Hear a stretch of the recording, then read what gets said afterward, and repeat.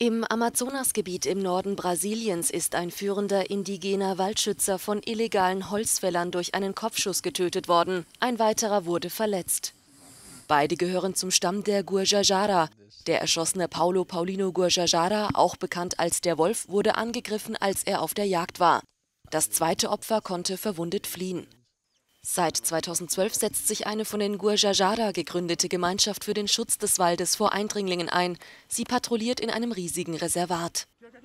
Die Zahl illegaler Holzfäller und Bergleute in den Reservaten nimmt zu, seitdem der brasilianische Präsident Jair Bolsonaro angekündigt hat, geschützte Gebiete für die wirtschaftliche Entwicklung zu öffnen.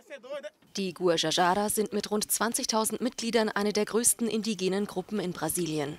In der Vergangenheit sind immer wieder Guajajara ums Leben gekommen. 2018 war einer ihrer Waldschützer tot an einem Fluss gefunden worden.